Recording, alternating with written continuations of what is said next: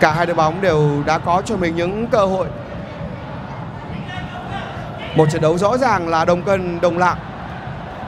Minh Nguyên Không có lỗi việt vị. Minh Nguyên làm gì nào, Minh Nguyên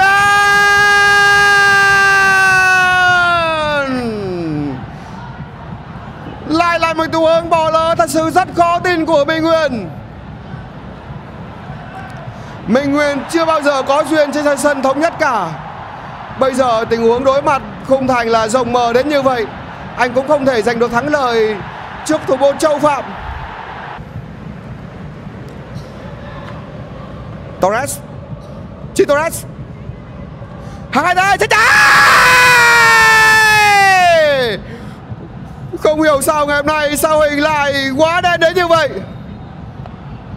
Đáng lý ra đó là một bàn thắng siêu đẹp của H2T ngôi sao đến từ sao hình. Nhưng rồi lần này thì Sàng Ngang đã từ chối một quả đá của cầu thủ mã số 7 H2T